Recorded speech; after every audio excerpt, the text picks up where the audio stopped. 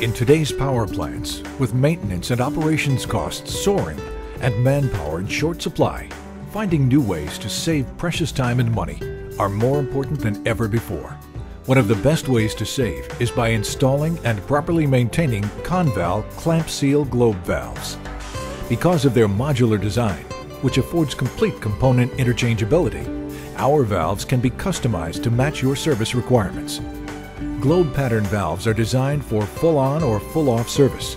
When the globe valve is fully opened, the largest flow path possible is obtained.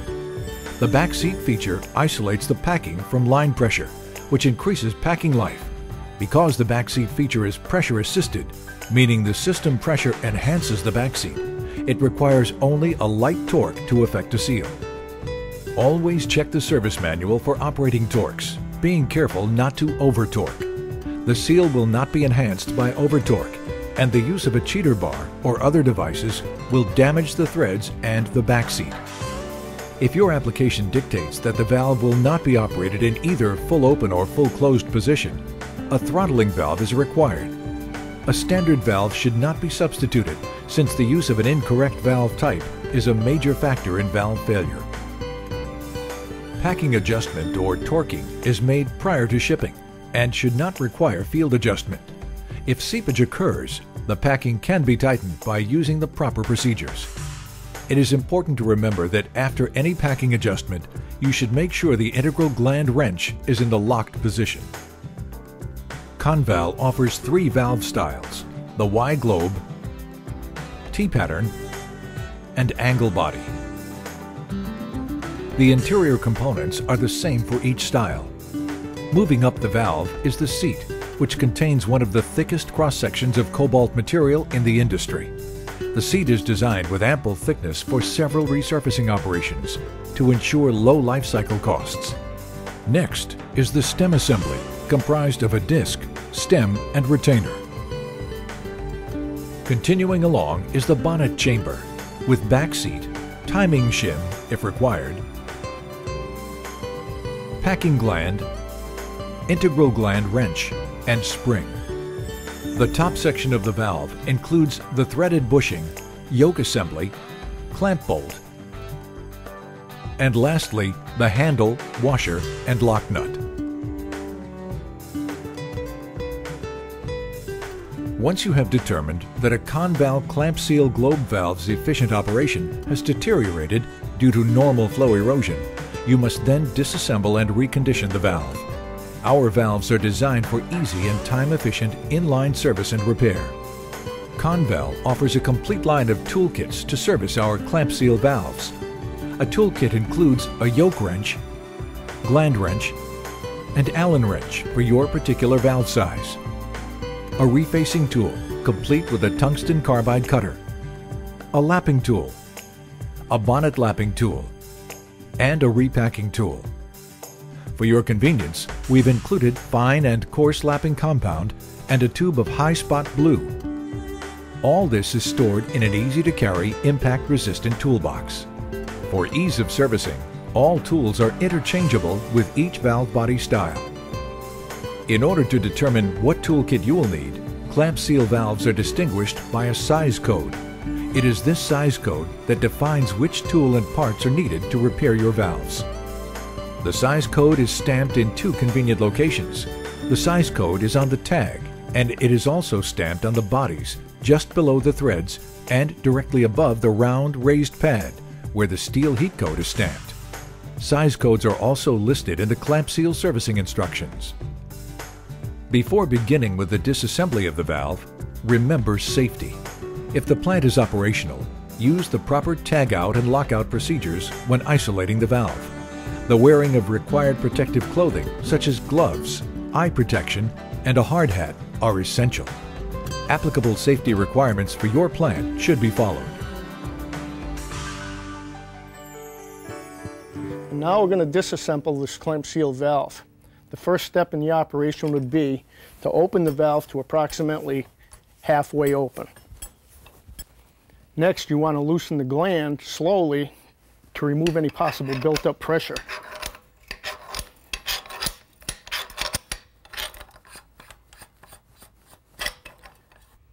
Prior to disassembly, you want to note the match mark on the body to the yoke orientation. If no match mark is provided, make one prior to disassembling the valve. And now the clamp bolt can be loosened, removed from the yoke assembly, and threaded back in to the back side of the thread to be used as a jack screw against a hardened washer like a fender washer. Then continue tightening the clamp bolt to jack open the yoke. Then at this point, you take the yoke wrench, break the yoke loose from the body, and then continue turning it to remove it from the body. It's important when you're removing the yoke from the body to not scratch the bonnet seat with the internal parts. At this point, it may be necessary to take a wire brush and clean the threads of the stem. The next step is to remove the nut from the yoke assembly and stem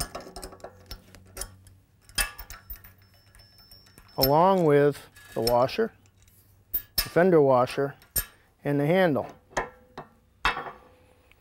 We want to continue threading the stem out of the valve until a handle or adapter becomes disengaged.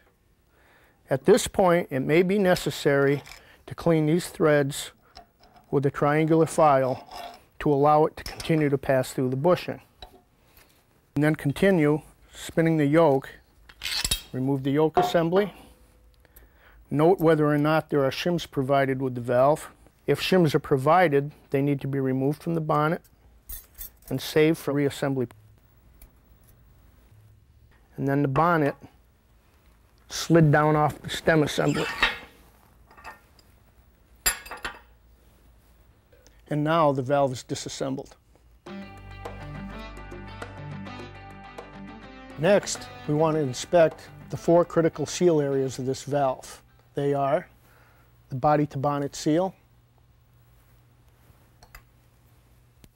the disc to seat seal, back seat seal,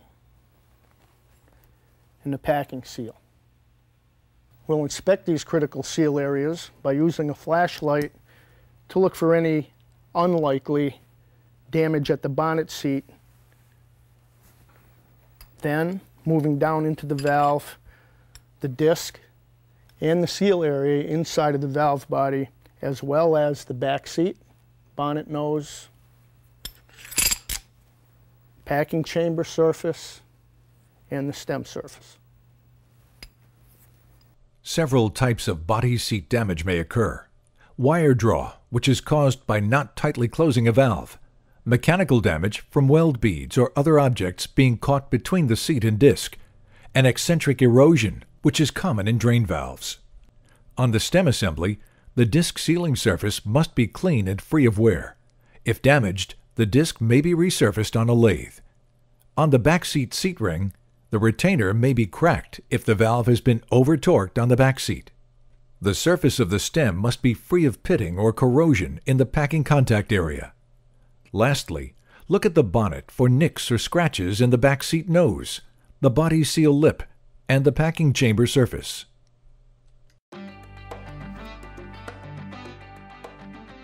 The next step is to remove the packing from the chamber. It's advisable to use a plastic or wooden dowel and not a steel packing remover or a metal packing remover that may damage the chamber wall. It's a good idea to soak the packing chamber in solvent prior to trying to remove it. Start by prying the first piece of packing out of the chamber with the plastic dowel. Next, invert the bonnet and push from the bonnet nose end the next piece of packing out of the chamber. And then finally the second piece of die formed out of the chamber.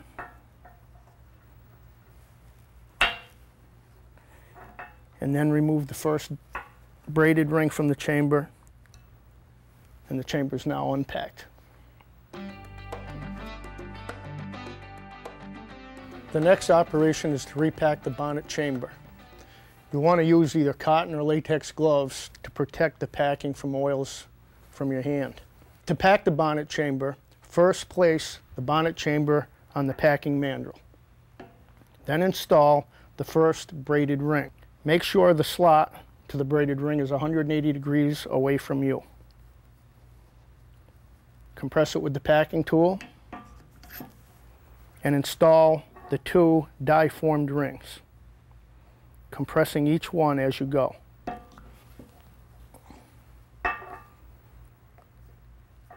And then finally, the last braided ring is installed with the slot facing you 180 degrees away from the original braided ring slot.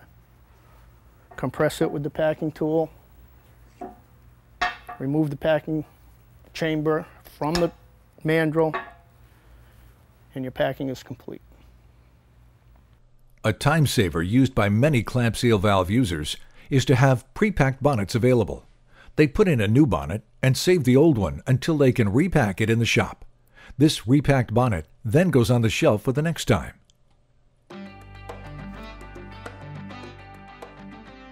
The next step in reconditioning the valve is seat refacing. This is done using the Conval refacing tool. Starting at the bottom, the refacing tool is comprised of a carbide cutter, a sleeve assembly,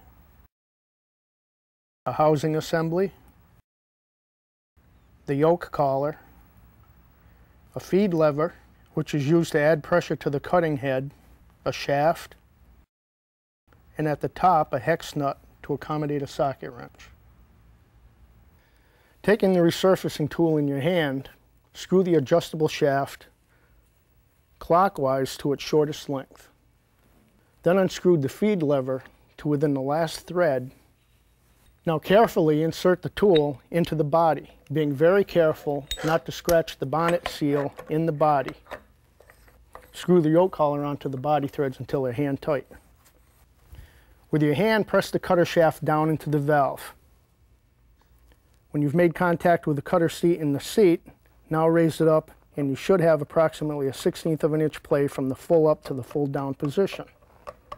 Screw the feed lever down into the housing until light pressure is felt. If the threads are used up before this happens, remove the tool from the body, adjust the adjusting sleeve a little bit, put it back in the body, and try it again. The idea is to get the adjusting sleeve long enough so that the feed collar is driving the cutter into the seat but not so long that the housing isn't firmly seated in the body. Attach a socket wrench to the hex head of the tool, turning it very slowly and cutting only in a clockwise direction. Cutting in a counterclockwise direction will cause damage to the tool and the valve body. While you're turning the cutter, turn the feed lever very, very slowly, applying pressure on the back of the cutter head to the seat being real careful not to exert too much pressure, which will cause chatter and marks on the valve seat. Remove the cutting tool from the body. And then examine the seat with a flashlight. If the seal is uniform and shiny all the way around, you're ready to blue the seat. If refacing the disc is necessary, chuck the retainer portion of the stem assembly in the lathe and center to within one thousandth of an inch. Use a single point carbide tool with a fine feed and cutting speed of 30 to 50 surface feet per minute. Machine the minimum amount of metal necessary to clean the surface to 29 degrees plus or minus 15 minutes. First you want to clear shavings away from the seat and clean the body with a rag. We want to blue the seat to make sure we have a narrow, clean, continuous contact line all around the seat. This is the lapping tool used in conjunction with the stem to lap and blue the valve. The lapping tool consists of a lapping tool sleeve, a lapping tool bushing, and a lapping tool nut. Now we're going to assemble the lapping tool to the valve stem. First, Apply the bushing or insert the bushing onto the lapping tool sleeve install the valve stem that you're going to lap to the valve body and screw on the lapping tool nut. Make sure when you're screwing the lapping tool nut on, you don't tighten it too tight as the disc needs to float freely on the front of the lapping tool. Also make sure that the lapping tool lugs are engaged to the slots in the back of the disc. We're going to blue the seat now to make sure that we've got a clean, narrow, continuous line all the way around the seat. First, you want to apply a small amount of bluing compound to the disc.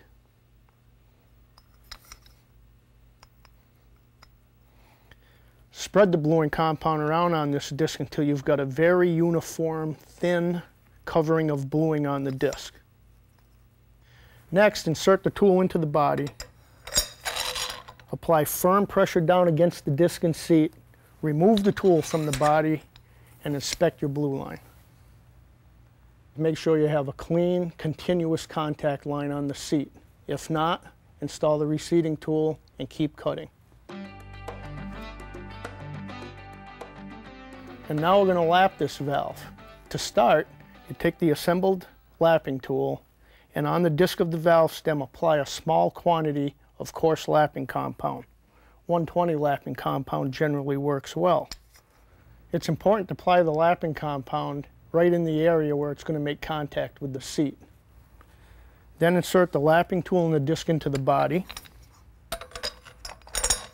With firm downward pressure and a rotary motion back and forth, start to lap the seat. You'll continue lapping the seat for approximately two minutes.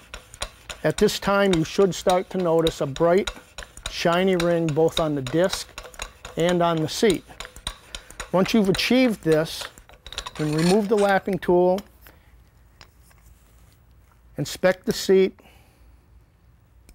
know that you have your continuous line, and then do this process all over again using a fine compound, 240 grit, until you achieve a shiny ring then and your valve is lapped. After lapping the seats with the coarse compound, you want to be sure to clean the tools and the seats prior to starting to lap with the fine compound. And now we're going to lap the bonnet seat in the body. To do this, you take the bonnet lapping tool and apply coarse lapping compound to the bonnet tool like we did with the disc. Assemble the bonnet tool into the body. Assemble a wrench to the lapping tool. And with light downward pressure and rotary motion on the wrench, lap this bonnet seat until all the imperfections are removed. Note, this only needs to be done in the unlikely event there are scratches or nicks in the bonnet seat. Once the process is complete, remove the wrench remove the tool, inspect the seat, and then repeat this process with a fine lapping compound, and then your bonnet is lapped. Before reassembly, make sure that all valve components are thoroughly cleaned.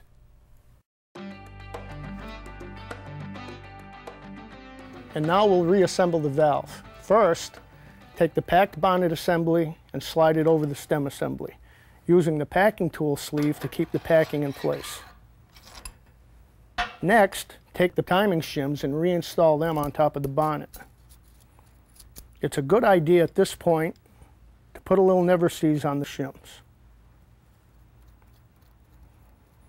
Next, assemble the bonnet assembly and stem assembly into the yoke assembly approximately halfway.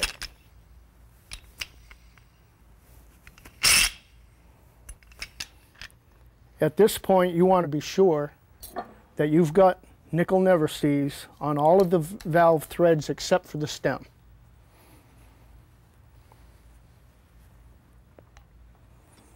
It's important to remember that the clamp bolt torque, the yoke torque, the stem torque, and the gland torque specific torques can be found in conval servicing instructions. These should be referred to prior to final assembly of the valve. Now we can install the yoke assembly, stem assembly, and bonnet assembly onto the body. Note that the gland is as full open as we can get it, and the stem is at mid-travel. This prevents the packing from being crushed during the torquing of the yoke and the stem from being crushed against the seat during the torquing of the yoke.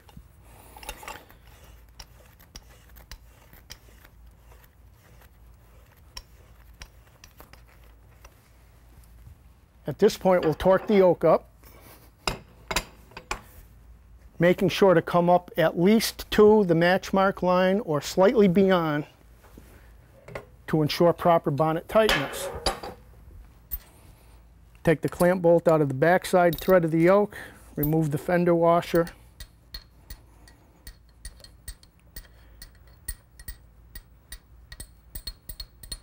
reapply nickel never to the clamp bolt, reinsert it onto the right hand side of the yoke,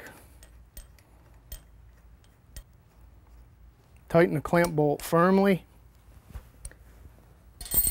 assemble the adapter, the handle goes on, fender washer goes on, flat washer, hex nut, and tighten it. Bring the valve stem to its full open position. Now the valve is fully assembled and ready for packing adjustment. First, with the Conval integral gland wrench, tighten your gland. Next, with Conval's dog bone gland wrench, continue to tighten the packing until you come to the spec in the servicing instructions. At this point, cycle the valve stem full closed and full open three times. Repeat this procedure both on the gland and the stem three more times. Now your valve's ready for service.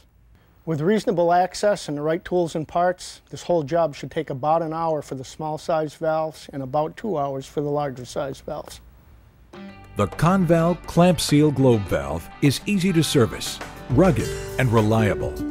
Once you've worked on the clamp seal valve, you'll never want to work on any other.